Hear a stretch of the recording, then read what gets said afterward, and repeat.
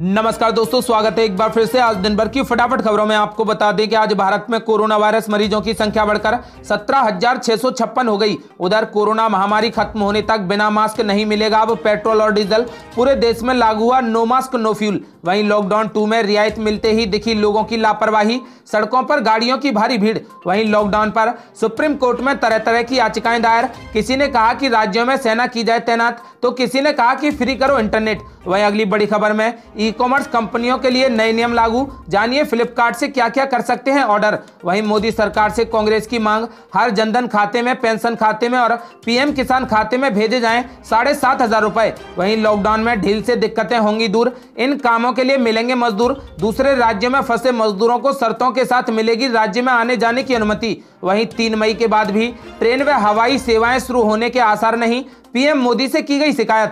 और भी बड़ी खबरों को जानने के लिए वीडियो के एंड तक बने रहिए हमारे साथ। बस आपसे निवेदन है कृपया वीडियो को लाइक कर दें चैनल को सब्सक्राइब कर लें और घंटी बटन ज़रूर दबा दें। दरअसल दोस्तों आपको बता दें कि आज भारत में कोरोना वायरस मरीजों की संख्या बढ़कर सत्रह हो गई जिसमें से 2,841 लोगों ने कोरोना वायरस से जंग जीत ली है। आपको बता दें कि 2,841 लोग ठीक हो गए जिसमें से पाँच लोगों ने अपनी जान गंवा दी। वह अगली बड़ी खबर लॉकडाउन टू में रियायत मिलते ही दिखी लोगों की लापरवाही। सड़कों पर गाड़ियों की भारी भीड़। दरअसल दोस्तों, आपको बता दें कि लॉकडाउन के बीच सोमवार को कुछ रियायतें दी गई। आपको बता दें कि लेकिन इसकी आड़ में काफ़ी संख्या में सड़क पर दो पहिया और तीन पहिया वाहन चलने लगे। सुबह खरीदारी को लेकर पुलिस ने थोड़ी नरमी बरती, लेकिन दस बजे के बाद वाहनों की भीड़ सड़क पर अचानक से बढ़ने लगी। तो पुलिस ने सड़क पर घूम रहे लोगों को बेहद खदेड़ा। उसके बाद चौक चौराहों पर वाहनों की चेकिंग भी शुरू कर दी। पैदल रहे महिला व पुरुषों की जमकर खबर ली गई। युवकों को कहीं मुर्गा बनाया गया तो कहीं उठक बैठक कराई गई। वह अगली बड़ी खबर लॉकडाउन पर सुप्रीम कोर्ट में तरह तरह की याचिकाएँ हुई दाखिल। किसी ने कहा कि सभी राज्यों में सेना की जाए तैनात तो किसी ने कहा कि फ्री करो इंटरनेट दरअसल दोस्तों, आपको बता दें कि लॉकडाउन के दौरान सुप्रीम कोर्ट में तरह तरह की याचिकाएँ दाखिल हुई हैं। एक याचिका में कहा गया कि लोग लॉकडाउन को गंभीरता से नहीं ले रहे, इसलिए मामला अब सेना के हवाले कर देना ज़रूरी है। एक और याचिका में कहा गया कि घर पर बैठे लोग परेशान हो गए। लोगों को सभी टीवी चैनल और इंटरनेट सेवा अब मुफ़्त में मिलनी चाहिए। लॉकडाउन का पालन कड़ाई से करवाने करवाने के लिए सभी राज्यों में सेना को बुलाने की मांग की गई है। आपको बता दें कि एक और याचिका में गाँव लौटने की उम्मीद में जमा हुए मजदूरों की जाँच की मांग की गई। इस याचिका में कहा गया कि जिस तरह से मुंबई, सूरत समेत कई शहरों में हज़ारों की संख्या में दूसरे राज्यों में फंसे मजदूर अपने गाँव लौटने की उम्मीद में जमा हुए, यह संदिग्ध लगता है। इन सभी मामलों की जाँच की जाए। उधर अन्य याचिका में कहा गया कि फ़ोन कॉल या इंटरनेट फ्री करने की मांग की। आपको बता दें कि इस याचिका में कहा गया कि लोग कोरोना जैसी गंभीर बीमारी से घबराए हुए हैं। अगर लोगों को अनलिमिटेड कॉलिंग और इंटरनेट की सुविधा दे दी जाए तो वे परेशान नहीं होंगे। आपको बता दें कि इसमें कहा गया कि मोबाइल कंपनियों से यह कहा जाए कि लोगों से फ़ोन कॉल या इंटरनेट के इस्तेमाल से पैसे न लिए जाएँ। उधर एक और याचिका में डीटीएच कंपनियाँ फ्री में दे सेवाएँ। इस याचिका में मांग की गई है कि सुप्रीम कोर्ट डीटीएच कंपनियों से यह कहे कि वह अपनी सेवाएँ बिल्कुल फ्री में दे। आपको बता दें कि उधर एक और याचिका में मकान मालिकों पर कार्रवाई करने की मांग की गई है। लॉकडाउन को लेकर और और भी कई याचिकाएँ दाखिल हुई हैं। एक याचिका कहती है कि घर घर जाकर कोरोना का टेस्ट करवाया जाए। एक और याचिका कहती है कि उन मकान मालिकों पर कार्रवाई हो, जो किराएदारों को किराया देने के लिए परेशान कर रहे हैं। याचिका में केंद्र सरकार के एक आदेश का हवाला दिया गया है, जिसमें यह कहा गया है कि लॉकडाउन की अवधि के दौरान छात्रों, मजदूरों और तमाम ऐसे लोग जो किराया देने में सक्षम नहीं है, किराए के लिए परेशान नहीं किया जाएगा। वह अगली बड़ी खबर, कोरोना महामारी खत्म होने तक अब बिना मास्क नहीं मिलेगा पेट्रोल और डीजल। पूरे देश में लागू हुआ नो मास्क, नो फ्यूल। दरअसल दोस्तों, आपको बता दें कि लॉकडाउन के दौरान कई क्षेत्रों में थोड़ी ढील दी गई है। ऐसे में सड़कों पर वाहनों की आवाजाही भी बढ़ी है। वहीं देश में कोरोना वायरस से संक्रमित मरीजों की संख्या अब सत्रह हो गई है। आपको बता दें कि कोविड नाइन्टीन के लगातार बढ़ते संक्रमण को देखते हुए पेट्रोल पंप पर आपको बिना मास्क के पेट्रोल नहीं मिलेगा। वहीं पेट्रोलियम डीलर्स एसोसिएशन के अध्यक्ष अजय बंसल ने कहा कि यह फैसला पेट्रोल पंप पर काम करने वाले स्टाफ की सुरक्षा को ध्यान में रखते हुए लिया गया है। यह देश भर में लागू हुआ है। आपको बता दें कि लॉकडाउन के दौरान ज़रूरी सेवाओं के तहत पेट्रोल पंप को भी शामिल किया गया है। पेट्रोल पंपों पर काम करने वाले स्टाफ और आम लोगों की सुरक्षा को देखते हुए नो मास्क, नो फ्यूल की स्ट्रेटजी अपनाई जा रही है। यानी पेट्रोल या डीजल भरवाने जा रहे हैं। आपके लिए मास्क पहनना अनिवार्य होगा। वैसे भी कई जगहों से बाहर निकलने पर लोगों के लिए मुँह को मास्क या फिर किसी कपड़े से ढकना अनिवार्य है। बता दें कि all India petroleum dealers association ने एक मत से फैसला लिया है कि अगर कोई भी ग्राहक बिना मास्क लगाए पेट्रोल पंप पर ईंधन के लिए आए तो उन्हें ईंधन नहीं दिया जाएगा। वह अगली बड़ी खबर ई कॉमर्स कंपनियों के लिए नए नियम हुए लागू। जानिए फ्लिपकार्ट और अमेजोन जैसी कंपनियों से आप क्या क्या कर सकते हैं ऑर्डर। दरअसल दोस्तों, आपको बता दें कि कोरोना वायरस के मद्देनजर देश भर में तीन मई तक लॉकडाउन लगा हुआ है। हालाँकि इसी बीच सरकार ने कई क्षेत्रों में रियायत भी दे दी है। जिन क्षेत्रों को थोड़ी रियायत दी गई है, उनमें ई कॉमर्स शॉपिंग का क्षेत्र भी शामिल है। नए नियम के मुताबिक ई कॉमर्स कंपनियों द्वारा अपने मंच के ज़रिए गैर ज़रूरी वस्तुओं के बेचने पर फ़िलहाल रोक लगा दी गई है। आपको बता दें कि नए नियम के मुताबिक आप खाने पीने की कई चीज़ें ऑनलाइन मंगवा सकते हैं, जैसे health drinks cooking breaking breakfast का सामान ड्राई फ्रूट स्वीट्स और स्नैक्स हेल्दी फूड्स शामिल हैं। आपको बता दें कि इस वक्त सबसे महत्वपूर्ण है अच्छी सेहत। इसलिए सरकार के नियमों के मुताबिक आप मेडिकल से जुड़ा सामान जैसे mask sanitiser hand wash blood pressure monitor nebuliser और थर्मामीटर जैसी चीज़ें मंगवा सकते हैं। इसके अलावा पर्सनल हाइजीन की कई चीज़ें जैसे oral care personal hygiene skin और हेयर केयर सेविंग का सामान मंगवा सकते हैं। इसके अलावा आप डायपर्स फीडिंग और नर्सिंग हेल्थ का सामान भी मंगवा सकते हैं। आप पालतू जानवरों से संबंधित चीज़ें और साफ़ सफ़ाई की चीज़ें भी मंगवा सकते हैं। आपको बता दें कि आप घर की सबसे ज़रूरी सामान, आटा, दाल, तेल जैसे सामान भी ऑनलाइन मंगा सकते हैं।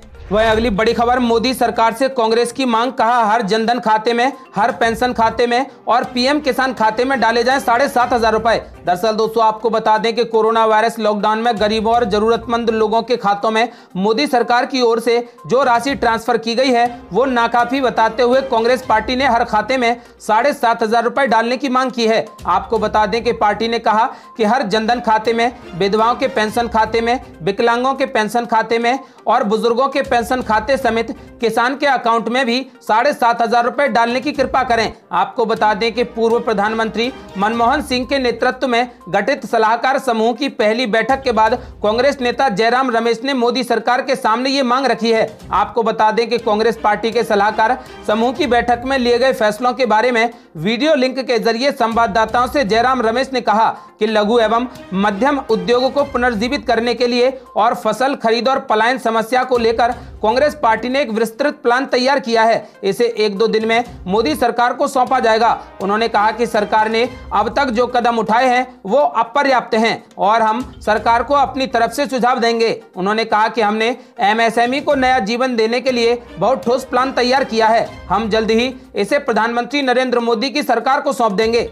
वह अगली बड़ी खबर लॉकडाउन में ढील से दिक्कतें होंगी दूर। इन कामों के लिए मिलेंगे मजदूर। दूसरे राज्य में फंसे मजदूरों को शर्तों के साथ मिलेगी राज्य में आने जाने की अनुमति।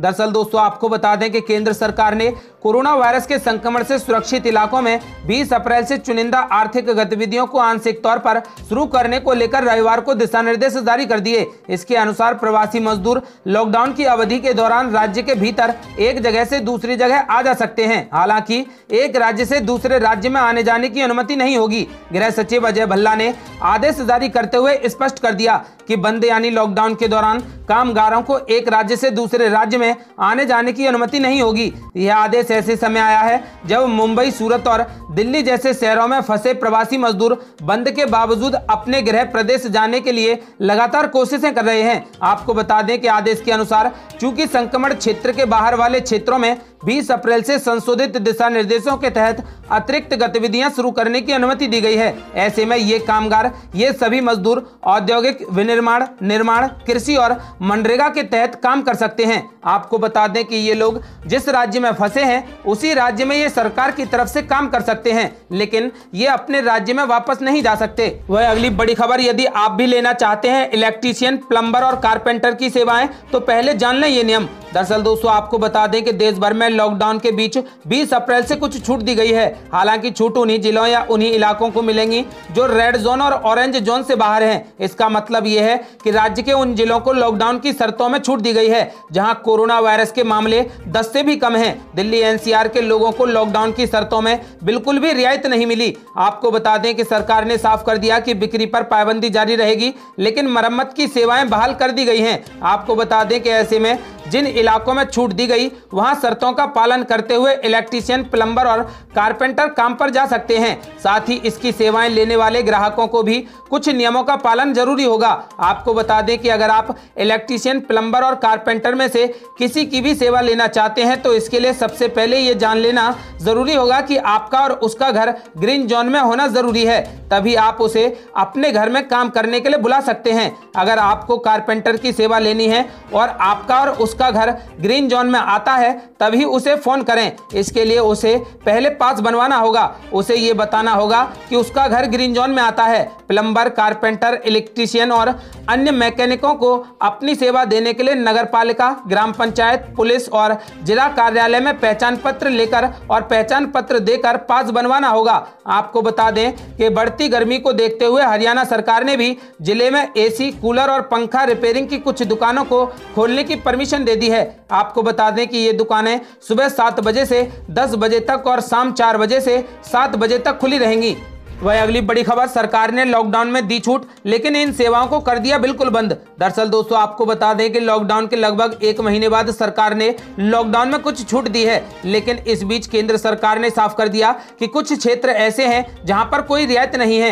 ये सभी जगह तीन मई तक के लिए बिल्कुल बंद रहेंगी। आपको बता दें कि जानकारों का कहना है कि केंद्र सरकार ने ऐसे क्षेत्रों की निशानदेही कर ली है, जहाँ पर लोग एक दूसरे से मिल सकते हैं। कुल मिलाकर सरकार एक जगह पर भीड़ इकट्ठा नहीं होने देना चाहती। यही कारण है कि सरकार ने उन सभी क्षेत्रों को बंद रखने का फैसला लिया है, जहाँ पर लोग भीड़ लगा सकते हैं। आपको बता दें कि इसमें airport, railway station, shopping mall, school, college और सिनेमा हॉल शामिल हैं। आपको बता दें कि ये सभी चीज़ बंद रहेंगी। केंद्र सरकार ने अपने मौजूदा लॉकडाउन में किसी भी तरह की रैली, समारोह पर रोक लगा रखी है। साथ ही सरकार ने होटल और रेस्टोरेंट जैसे कारोबार को भी खोलने की अनुमति नहीं दी। इसके अलावा सड़क यातायात को भी मंजूरी नहीं है। सिर्फ़ मालगाड़ियों को ही सामान लाने और ले जाने के लिए सशर्त मंजूरी दी गई है। सोमवार से किसान मजदूरों को खेती के लिए छूट दी गई है। आपको बता दें कि खेती से जुड़ी दुकानें खुल पाएँगी। सरकारी दफ्तरों में तैतीस फ़ीसदी तक स्टाफ रह पाएगा। मजदूर सिर्फ़ एक ही राज्य में रहकर इधर उधर काम के लिए जा सकेंगे। वह अगली बड़ी खबर, मौसम फिर बदलेगा मिजाज। कई राज्यों में भारी बारिश के साथ गिरेंगे ओले। दरअसल दोस्तों, आपको बता दें कि देश में एक और कोरोना वायरस रुकने का नाम नहीं ले रहा। वहीं दूसरी ओर, मौसम भी हर दिन अपना मिजाज बदल रहा है। पिछले दो तीन दिनों से मौसम में काफ़ी बदलाव आया। कई शहरों में भारी बारिश के साथ ओले भी गिरे।